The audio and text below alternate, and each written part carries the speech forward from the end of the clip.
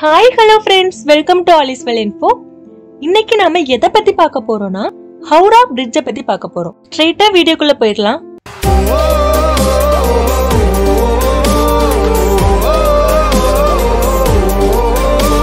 இந்தியாவோட மேற்கு வங்காளத்துல தான் ஹூக்லி நதி இருக்கு. இந்த நதியில தான் ஹவுரா பாலம் இருக்கு. இந்த பாலத்துக்கு என்ன பெயர் சூட்டினாங்கன்னா நியூ ஹவுரா பாலம் அப்படின்னு தான் இதுக்கு பெயர் சூட்டினாங்க. இந்த பாலம் ரெண்டு நகரங்களை இணைக்குது. கல்கத்தா அண்ட் ஹவுரா இந்த ரெண்டு நகரங்களை தான் இணைக்குது.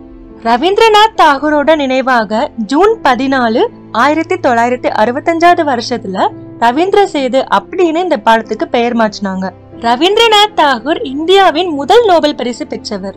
இவர் ஒரு கவிஞரும் கூட. ரவீந்திர சேது அப்படின்னு பெயர் மாற்றப்பட்டு இருந்தாலும் ஹவுரா பாலம் அப்படிங்கிற பேர் தான் இன்னைக்கு வரைக்கும் மக்கள் மத்தியில பிரபலமா இருக்கு. ஹூக்ளி நதியில பாலம் கட்டணும் அப்படின்னு எண்ணம் தோன்றியதுக்கு காரணம் என்னன்னா தொழில்நுட்பங்கள்ல எல்லாம் வளர்ச்சி அடைந்த ஒரு இடமா ஹவுரா இருந்துச்சு. அதனால ஹவுரால உள்ள பொருட்களை கல்கத்தாக்கு கொண்டு போகணும். கல்கத்தாவுக்கும் ஹவுராவுக்கும் நடுவுல இருக்கிறது ஹூக்ளி நதி. இந்த நதி இருக்கிறதுனால பொருட்கள் கொண்டு போகிறதுக்கு கடினமா இருக்குது. அதனால ஒரு பாலம் கட்டலாம் அப்படிங்கிற ஒரு எண்ணம் தோன்றுச்சு.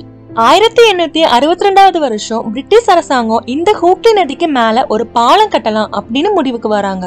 ஆயிரத்தி எண்ணூத்தி எழுபத்தி நாலாவது வருஷம் ஒரு பாலம் கட்டி முடிச்சாங்க. ஆனா இந்த பாலம் ஹவுரா பாலம் கிடையாது. இந்த பாலம் ஒரு மிதக்கும் பாலம். இந்த பாலத்தை மிதக்கும் பேண்டூன் பாலம் அப்படின்னு சொல்லுவாங்க. இந்த பாலம் ஒரு ஸ்ட்ராங்கான பாலம் கிடையாது.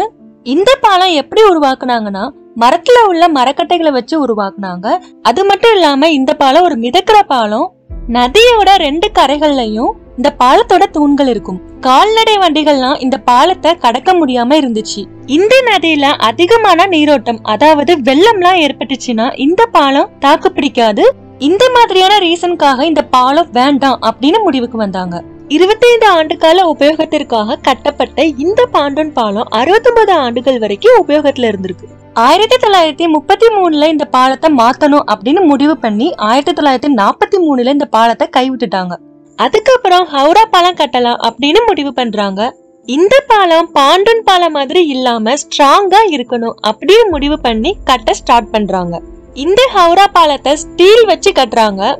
இந்த ஸ்டீல நிலத்துல ஊன்றதுக்காக அங்க உள்ள சேர்ச்சை சுத்தம் செய்யும் போது நிறைய அரிதான பொருட்கள்லாம் கிடைச்சுதாம். என்னென்ன பொருட்கள்லாம் கிடைச்சதுன்னா நங்கூரங்கள் மண் இரும்புகள் பீரங்கி பீரங்கி குண்டு பித்தளை பாத்திரங்கள் நிறைய வகையான நாணயங்கள் இந்த மாதிரி நிறைய பொருட்கள் கிடைச்சதாம்.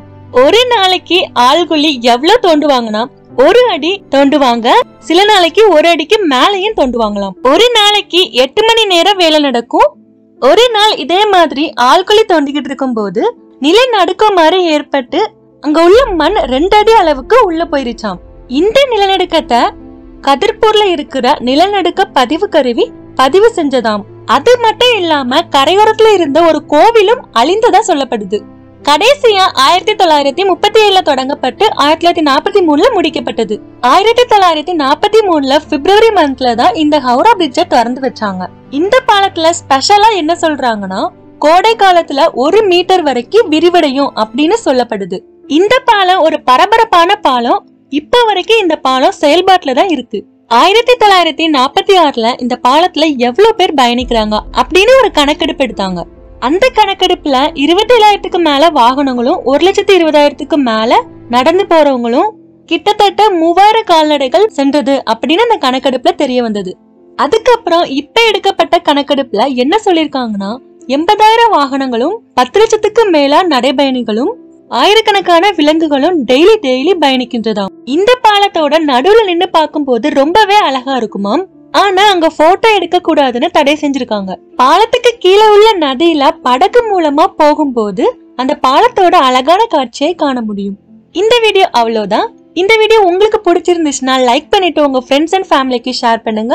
அப்படியே சப்ஸ்கிரைப் பண்ணிருங்க சப்ஸ்கிரைப் பண்ணதுக்கு அப்புறம் பெல் ஐக்கான் வரும். அந்த பெல் ஐக்கானை கிளிக் பண்ணிட்டு ஆள்னு கொடுங்க. அப்போதான் நான் போடுற வீடியோ உங்களுக்கு நோட்டிபிகேஷன்ல வரும்.